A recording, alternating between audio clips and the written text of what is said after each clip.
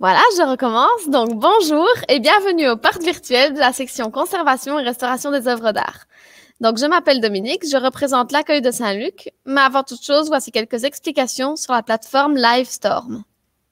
Bonjour à toutes et tous, nous allons donc utiliser Livestorm durant cette heure. Des enseignants, étudiants et membres des services administratifs vont prendre la parole. Mais nous vous invitons à interagir avec nous tout au long de la présentation. Afin de mieux vous familiariser à l'outil, voici à quoi ressemble l'interface. Des sondages seront proposés durant la présentation, donc par ici. Nous vous invitons évidemment à y répondre en temps réel. Dès que le petit rond rouge s'affiche, cela signifie qu'un nouveau sondage est disponible. Il vous suffit de cliquer sur votre choix et de soumettre votre vote. Sur votre interface, vous pouvez aussi accéder à l'espace questions, donc comme ici. Sur un ordinateur, l'espace est directement visible et il suffit simplement de poser une nouvelle question. Par contre, sur un smartphone, l'espace n'est pas visible, donc il faut cliquer ici pour afficher le panneau latéral. Les questions sont publiques, donc posez autant de questions que vous le souhaitez. Nous prendrons le temps d'y répondre de préférence vers la fin de la présentation. Si vous ne posez pas de questions spécifiques, mais que quelqu'un a posé une question dont la réponse vous intéresse quand même, cliquez sur la petite flèche, donc juste ici, pour montrer votre intérêt.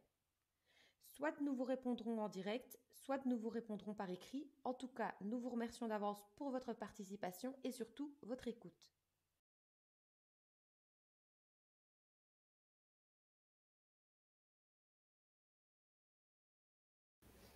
Voilà. Avant toute chose, je vais vous donner quelques informations utiles sur notre école. Donc, Saint-Luc, c'est plus de 1000 étudiants répartis en 10 sections. 6 de type cours, pardon, 6 de type cours, donc un baccalauréat, et 4 de diplôme, donc un baccalauréat plus un master. Nous proposons aussi l'agrégation en partenariat avec l'ULG. Saint-Luc propose divers services. Un accueil, donc qui distribue les documents, un service des étudiants qui gère le dossier des étudiants, un service d'aide à la réussite, un service international si jamais vous souhaitez partir en Erasmus durant votre scolarité, un service social et un conseil étudiant qui prendra contact avec vous dès le début de l'année scolaire. Nous mettons de nombreux endroits à votre disposition. Une bibliothèque, une cafétéria, un centre photo et copie qui propose forcément de faire des photocopies, mais aussi d'emprunter du matériel informatique ou de prêter une salle informatique pour les étudiants qui en ont besoin, et une récupérathèque. C'est là que vous pourrez emprunter prendre euh, du matériel pour vos maquettes. Afin de vous inscrire à Saint-Luc, vous devez vous préinscrire en ligne, venir déposer votre dossier en main propre et réussir l'épreuve d'admission. Cette épreuve d'admission n'est ni un concours ni une sélection. C'est avant tout pour tester votre motivation. Et donc, euh, vous verrez, il y a quand même un bon pourcentage de réussite. Vous trouverez plus d'informations sur notre site internet. Lors de votre euh, réussite de l'examen d'admission, vous serez admis à Saint-Luc. À ce moment-là, vous recevrez un memento, un agenda et vos passes pour votre lettre et votre adresse mail. Je vais à présent laisser la parole au professeur.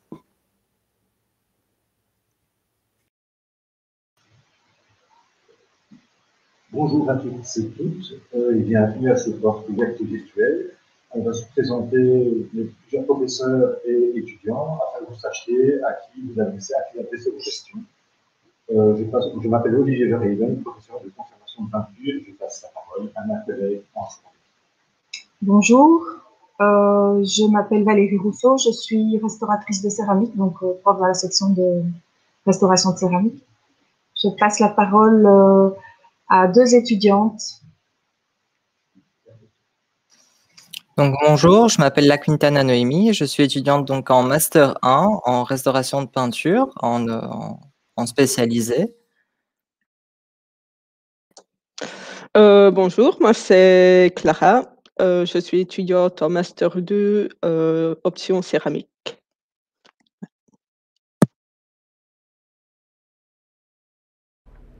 En 2020, la section de conservation-restauration va célébrer ses 30 ans d'existence au sein de l'ESA. Depuis sa formation, la section s'organise en deux filières, la peinture et la céramique. Au fil du temps, de nombreux étudiants sont sortis. Ils ont ouvert leur propre atelier en Belgique, à l'étranger, ou rejoint des ateliers spécialisés dans la conservation et la restauration. D'autres encore ont été recrutés dans des institutions publiques en charge du patrimoine, au niveau fédéral, régional, provincial ou encore communal, soit comme régisseurs, conservateurs, responsables du suivi de collection. Quelques étudiants ont poursuivi des recherches et ont soutenu des thèses doctorales, ce qui leur a permis d'être accueillis dans des institutions internationales. Ce bilan nous incite à poursuivre et à nous engager dans des perspectives d'avenir. Les étudiants que nous accueillons proviennent de tous les horizons du cursus secondaire, général ou technique. Les compétences minimales requises sont celles de l'enseignement secondaire supérieur.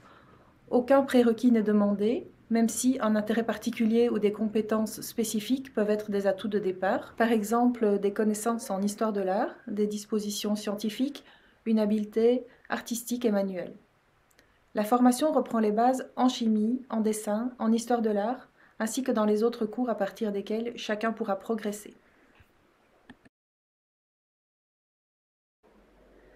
L'épreuve d'admission n'est pas une sélection pour repérer les meilleurs d'entre vous, mais plutôt un test d'orientation afin de nous permettre de souligner quels sont vos points forts et ceux auxquels il conviendra d'être attentif. Elle comporte une partie pratique liée au dessin et à la restauration, une partie rédactionnelle et se termine par un entretien individuel. Vous pouvez vous préparer à cet entretien en réfléchissant à votre motivation, aux raisons pour lesquelles vous souhaitez entamer cette formation, aux qualités dont vous disposez pour pratiquer ce métier, ainsi qu'en lisant divers documents qui seront mis à votre disposition. Le cursus académique s'organise en deux cycles. Le premier est de trois ans, ce sont les baccalauréats. Le second est de deux ans, ce sont les masters. Il y a deux départements, la céramique ou la peinture. Le choix entre ces deux départements se fait au terme de la première année du cursus, donc la première année de bac, qui est commune à tous les étudiants. Les contenus du cursus se déclinent, sous forme de cours généraux, techniques et artistiques. Le second cycle, celui de master, s'étend sur deux ans. Les cours pratiques, d'atelier et les cours théoriques prennent une place plus ou moins importante selon que l'on choisisse la finalité approfondie, où certains cours se suivent à l'université, ou la finalité spécialisée, plus orientée vers la pratique professionnelle. Les deux orientations sont sanctionnées par un mémoire en fin de master. L'atelier de première année est consacré à la connaissance des matériaux et des techniques. Nous apprenons la mise en œuvre des peintures sur bois et sur toile, préparer des supports, appliquer des enduits, réaliser des couches picturales, des vernis. Les exercices permettent de se rendre compte du comportement des matériaux. Les étudiants s'initient aussi à quelques actes de restauration de base comme le masticage.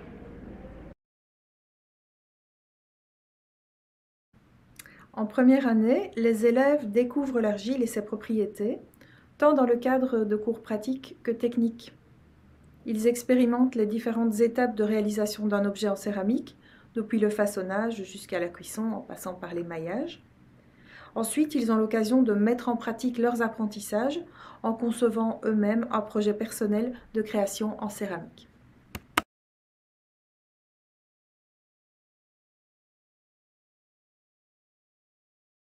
Parallèlement, les futurs restaurateurs de céramique se familiarisent avec les premiers gestes de conservation-restauration via des exercices de base et leur application dans le cadre d'un projet collectif.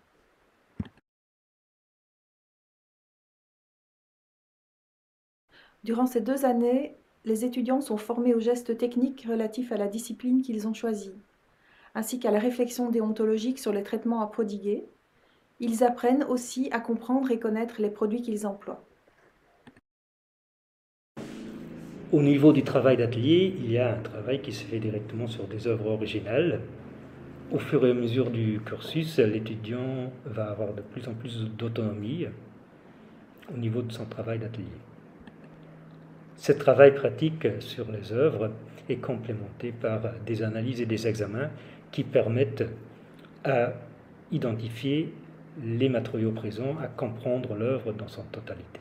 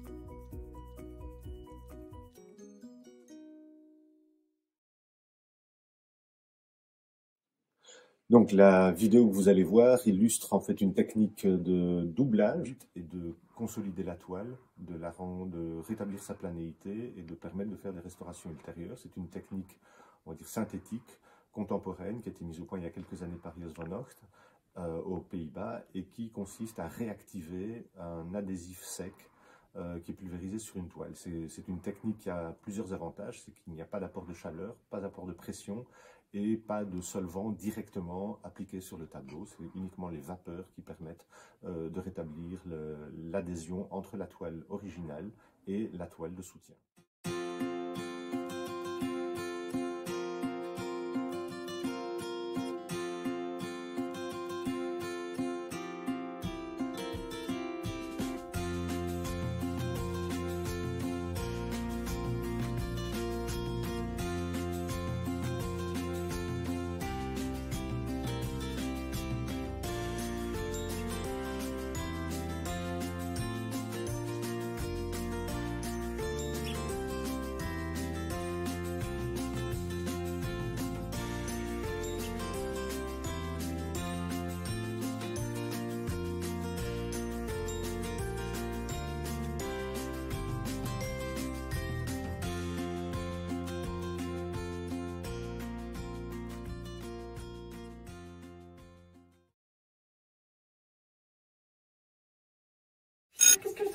Dit Ah.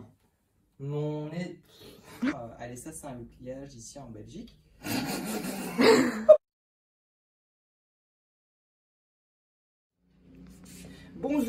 je m'appelle Norman Verskuren, je suis étudiant en Master 1 en conservation et en restauration de peintures de chevalet à finalité spécialisée. Bonjour, je m'appelle la Quintana Noémie et je suis étudiante en Master 1 également. La problématique de cette recherche s'articule autour de la compréhension des contraintes induites par le système de renfort qui se trouve au revers, qui est un système de parquetage qui était, euh, qui était donc couramment utilisé entre euh, le milieu du XVIIIe siècle et la fin du XIXe siècle pour maintenir les, les panneaux peints Le sujet d'étude s'articule autour d'un ensemble d'œuvres marouflées qui proviennent de l'hôtel latéral de l'église Saint-Georges de Limbourg. L'étude va se tourner donc sur la problématique des marouflages et des reprises de marouflage au niveau de la restauration du support et aussi de la couche picturale euh, suite à différentes lacunes occasionnées par le vieillissement donc, des matériaux. Cette étude euh, s'oriente euh, avec pour support 11 peintures euh, marouflées, comme on peut le voir ici. On dit bonjour en même temps. Bonjour On est étudiante en conservation-restauration et on est en bac 3. Et euh, du coup, on va vous présenter à travers euh, quatre questions ce qu'on fait euh, durant notre cursus. Voilà. Alors, euh, pourquoi est-ce que tu as choisi la conservation-restauration d'œuvres d'art? Bah, moi, j'ai choisi la conservation-restauration d'œuvres d'art euh, céramique et verre parce que euh, en première année, donc on a l'occasion de choisir entre peinture ou céramique. Et euh, d'emblée, j'ai tout de suite été plus attirée vers la céramique que vers la peinture. Et voilà, c'est pour ça que j'ai choisi ça. Et euh, qu'est-ce qui t'attire dans l'option céramique et verre euh, que propose l'école? Euh, ce qui m'attire surtout, c'est pouvoir redonner vie à des objets authentiques et historiques, issus de fouilles archéologiques, et euh, pouvoir donc présenter ces, ces objets à des générations futures et qui puissent être conservés dans les musées euh, par la suite. Euh, Quelle qualité il faut pour pouvoir faire euh, ce type de Il faut être très patient, très minutieuse, minutieux, Ouais. et avoir, enfin, aimer surtout, parce que si on n'aime pas, on se lasse très vite. Ouais. Et alors, il y a des stages qui sont prévus durant ton cursus. Et qu'est-ce qu'ils t'apportent, ces stages? Bah, ces stages-là, ils permettent d'être euh, vraiment en conditions réelles euh, et d'appliquer ce qu'on apprend, donc toutes les connaissances, toutes les techniques, etc., qu'on apprend euh, durant l'année euh, dans ces stages. Donc c'est vraiment bien et, et ça nous permet de rencontrer beaucoup de gens et de vraiment être sur le terrain. Ben merci. De rien. Voilà La formation se clôture par la réalisation d'un mémoire qui s'échelonne sur les deux années de master. Il consiste à étudier une problématique en lien avec la conservation. Durant ces deux années de master, les étudiants sont amenés à gérer des cas et des projets de restauration plus complexes, comme dans les deux vidéos proposées précédemment. En master, le travail d'atelier se poursuit en lien avec le mémoire ou indépendamment de celui-ci. Dès les premières années du cursus, des stages mettent en contact l'étudiant avec différents milieux professionnels, ateliers et chantiers de restauration, institutions muséales et sites de fouilles archéologiques, accueillent les étudiants tant en Belgique qu'à l'étranger.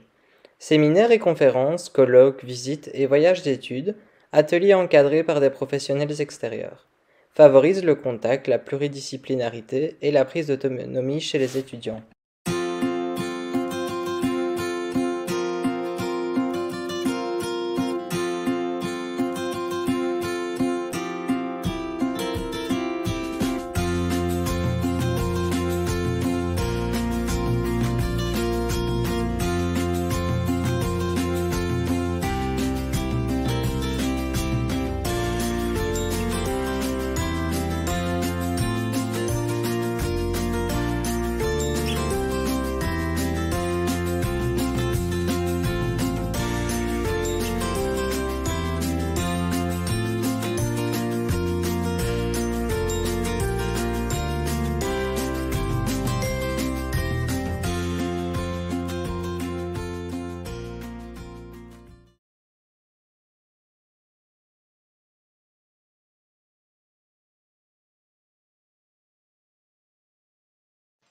Voilà, nous sommes de retour. Donc, euh, on va répondre aux nombreuses questions que vous nous avez posées. Euh, on va donner la parole euh, aux étudiantes aussi pour y répondre hein, en fonction des, questions. Alors, ben, moi, je vais commencer par la première, peut-être, oui. Donc, combien sommes-nous par cours Je dirais que, en général, en première, on commence avec une vingtaine d'étudiants. Et euh, au fur et à mesure des années, donc ce nombre diminue parce qu'aussi il se divise. Donc euh, il y a une partie qui va prendre l'option de peinture, l'autre qui va prendre l'option de céramique.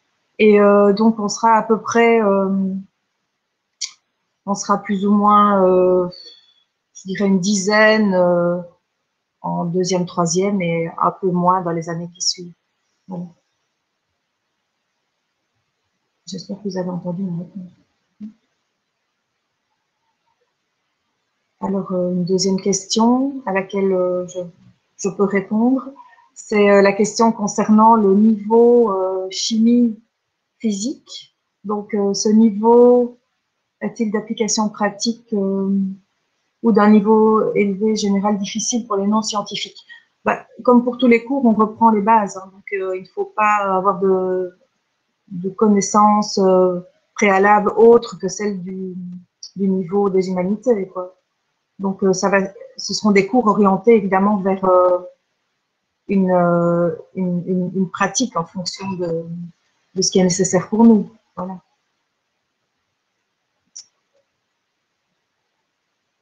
Alors, je vais bien aussi répondre à la troisième question, après je passerai la parole. Donc, comment les cours sont-ils adaptés avec le Covid? Ben oui, ben comme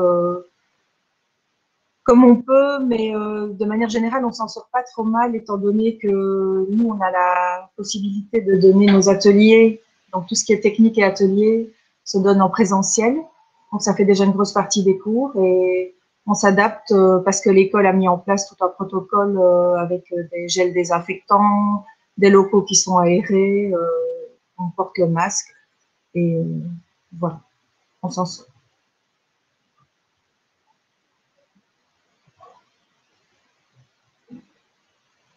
Euh, je vais peut-être répondre. Pardon, je vais peut-être euh, répondre à la question euh, de Alice Dumont con- concernant la formation est-elle adéquate pour poursuivre après un concours, les concours en France? Euh, En fait, la formation n'est pas à proprement parler une formation préparatoire au concours qui se déroule en France. C'est une formation en soi. Donc, je pense qu'effectivement, quelqu'un qui aura suivi les, années de baccalauréat en Belgique pourrait très très bien présenter le, concours. Mais disons que c'est une formation en soi et c'est pas une formation préparatoire au concours. Concernant les autres questions, euh, pardon. Oui, vas-y, euh, Noémie.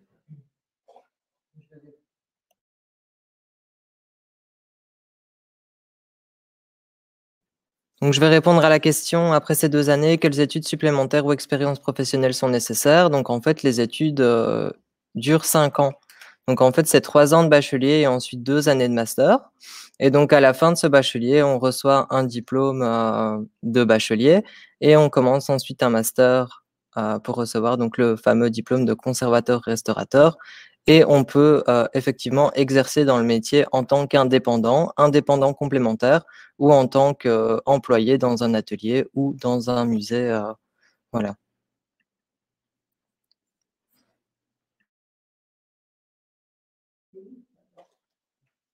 Pour euh, répondre à Oriane Paris qui demande si la formation est aussi poussée qu'à la Cambre à Bruxelles, euh, en fait, les, le cursus euh, est à 70% identique en fonction d'une école à l'autre. En fait, c'est une question, une question de décret au niveau de la formation. Et pour le reste, on a effectivement des spécificités qui représentent plus ou moins 30% de la charge horaire et qui sont qui se qui se valent certainement. il y a d'ailleurs des, des, des, échanges qui se font régulièrement entre la Cambre et Saint-Luc pour certains un type de formation, des workshops ou des choses comme ça. Mais disons qu'il n'y a, pas, de, différence notoire à, souligner par rapport à ces deux centres de formation.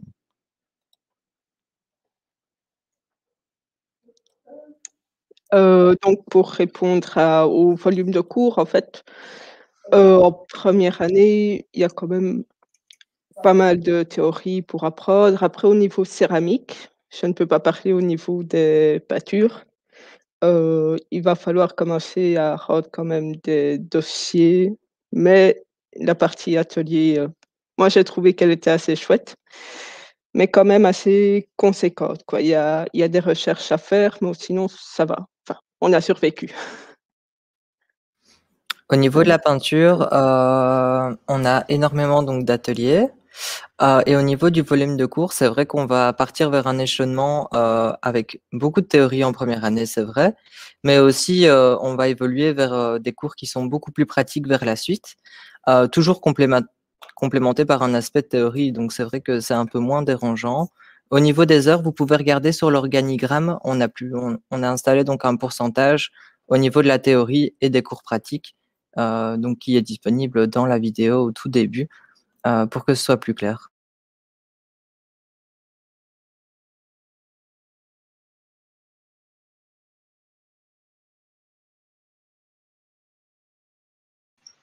À la question fournissez-vous le matériel de Jeanne Dupont?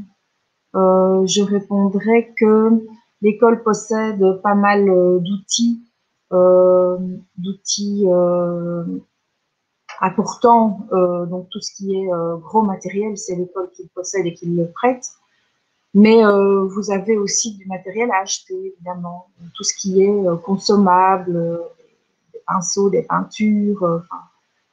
les listes vous sont distribuées en début d'année, normalement, pour chaque cours pratique. Donc, il y a un petit investissement de base, mais c'est souvent du matériel qui va vous permettre de travailler pendant plusieurs années avec. Hein. Garder euh, sur euh, quasiment toute la durée de la formation. Et donc, euh, pour le matériel plus difficile à se procurer, bah, l'école vous, aide en faisant des commandes groupées, par exemple. Donc, on fournit une partie et vous achetez une partie. On va dire ça comme ça.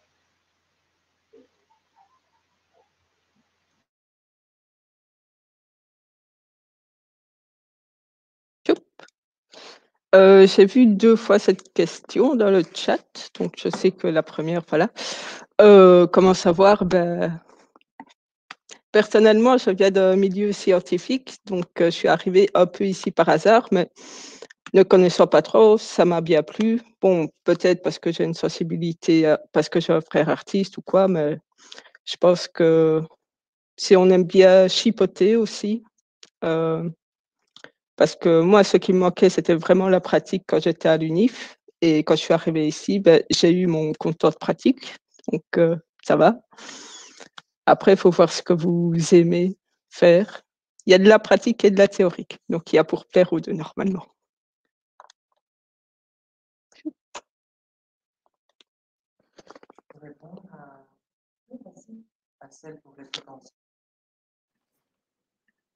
Euh, donc, euh, je vais répondre à la question euh, de la personne qui n'est pas vraiment intéressée par les objets art anciens. non, c'est pas un problème parce que justement, on a ouvert donc un master avec une orientation au niveau du patrimoine contemporain et moderne. Euh, ce qui pourrait te poser problème, c'est qu'au début euh, du bachelier, on va commencer à apprendre donc les techniques anciennes pour évoluer vers des techniques modernes. Donc tu seras euh, voilà, amené à travailler donc sur des peintures anciennes ou des techniques anciennes au tout début de ta formation, mais tu pourras évoluer donc euh, vers euh, des techniques contemporaines euh, sur le patrimoine en évoluant dans la formation. Cela dit, tu peux tomber sur une œuvre contemporaine dès la deuxième année, donc ça c'est vraiment c'est vraiment pas un problème.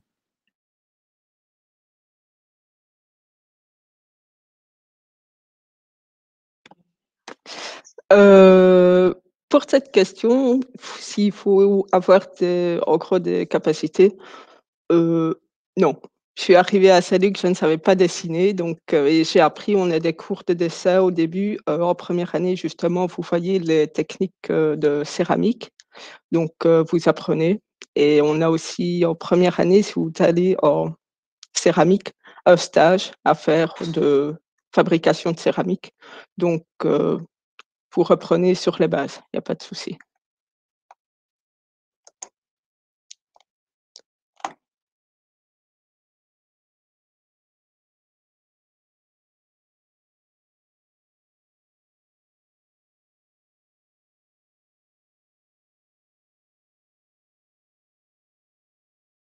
Déjà, voilà.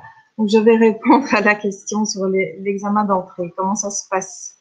Donc, euh, c'est un examen qui comporte une partie commune à toute l'école et, il y a une partie plus spécifique alors par option. Euh, c'est un examen qui se prépare aussi, donc on vous donne des consignes de préparation. Euh, ça vous permet donc de faire des lectures qui vont vous, vous ouvrir l'esprit, je vais dire peut-être par rapport euh, aux, clichés qu'on pourrait avoir en tête en arrivant. Et on va aussi on va aussi euh, vous permettre de vous exercer, euh, notamment euh, à des exercices pratiques. Voilà. ensuite, alors l'examen dure deux jours, si mes souvenirs sont bons, et deux jours pendant lesquels il y a différentes épreuves qui vous sont proposées, des épreuves pratiques et ou plus, plus théoriques. C'est un examen qui a pour but non pas de sélectionner les meilleurs, mais d'être euh, tous d'accord euh, qu'on ne fait pas d'erreur d'orientation déjà. Voilà. Euh, après, il y a certainement quand même une petite sélection qui va s'effectuer, mais qui sera généralement, je vais dire, validée par l'étudiant lui-même. Un étudiant qui s'est trompé, bah, il va, il va pas s'obstiner à, à, vouloir absolument aller dans une formation qui lui conviendra pas. Voilà.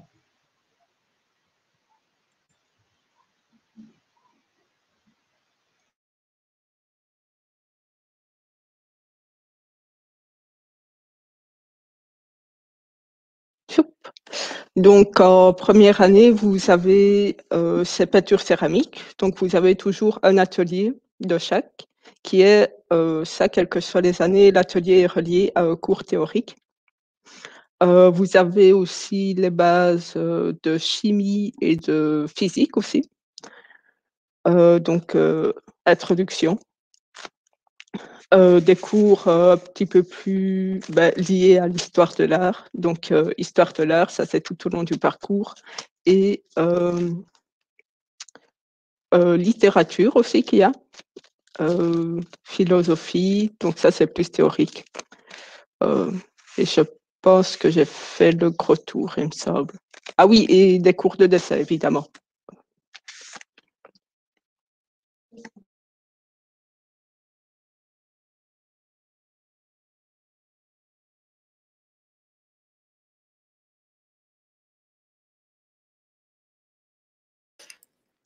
Hop, je vais répondre à la question de Bastien Mourier. Est-il facile de trouver un emploi? Euh, C'est une question évidemment euh, compliquée parce que euh, dans quel domaine est-ce qu'il est vraiment facile de trouver un emploi aujourd'hui, à part en secrétariat trilingue? J'ai l'impression qu'il n'y en a pas. Donc, forcément, des secrétaires, enfin des, pardon, des, restaurateurs, pardon. On n'en a pas besoin euh, autant que, forcément euh, d'autres d'autres boulots dans d'autres disciplines, mais il y a moins de gens qui sont formés aussi. Donc euh, voilà, tout est relatif. Quoi. On ne va pas former 300 restaurateurs. On en formera peut-être euh, une dizaine par an ici. voilà, je ne sais pas si ça répond à la question, mais disons que d'après les dernières années, euh, d'après les personnes qui sont sorties ces dernières années, et il y en a plusieurs qui travaillent dans le domaine de la restauration, de la culture, du patrimoine. On va dire ça comme ça. Après, il y a aussi euh, une possibilité de s'installer comme indépendant, euh, ce qui n'est pas facile, mais ce qui est tout à fait gérable. Si quelqu'un veut compléter ma réponse. Oui, c'est ça. Comme expliqué, il y a très peu donc, de, sortants. Donc, c'est vrai qu'on ne va pas former 500 euh, restaurateurs par an. Et ensuite, on va créer euh, donc euh, notre propre parcours durant nos années d'études, durant nos, stages. Et donc, on va pouvoir en fait voir vers où, où se, se, diriger, en fait, vers quel domaine, et voir aussi ce qu'on aimerait faire, se diriger vers un, un travail dans, dans, un musée, vers un travail en tant qu'indépendant ou sur chantier. Euh, pour l'archéologie, par exemple, euh, dans, dans la céramique. Euh, donc c'est vrai qu'on peut, on peut créer nous-mêmes notre propre parcours et on, on, ne sort pas voilà 500 étudiants par an, donc c'est peut-être un peu plus facile.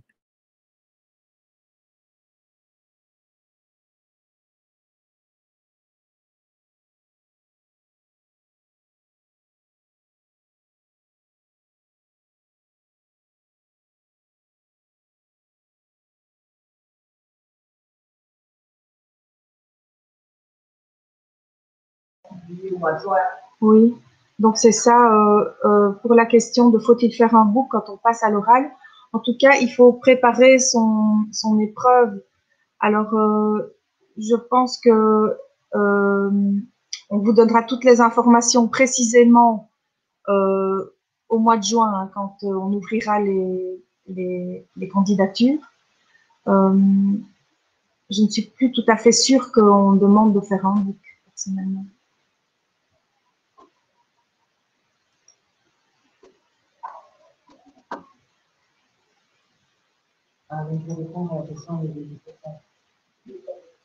Donc, je vais répondre à la question au niveau du pourcentage de demandes d'inscription et du nombre de personnes prises. Euh, donc voilà, euh, l'examen d'entrée n'est pas un examen donc euh, de sélection comme expliqué par mes professeurs. Donc c'est bien, c'est plutôt une rencontre comme expliqué dans les réponses en dessous.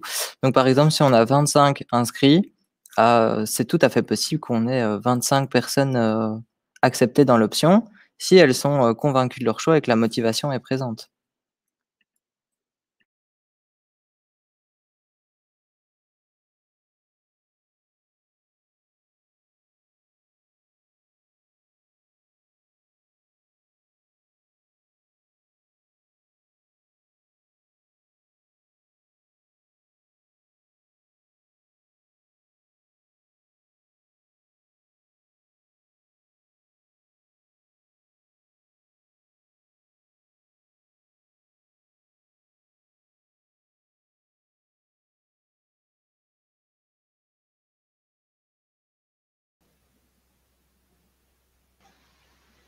Donc, euh, s'il n'y a plus de questions, on va peut-être clôturer maintenant, euh, à moins que vous ayez encore euh, quelque chose à demander. Alors, c'est le moment de rédiger votre question.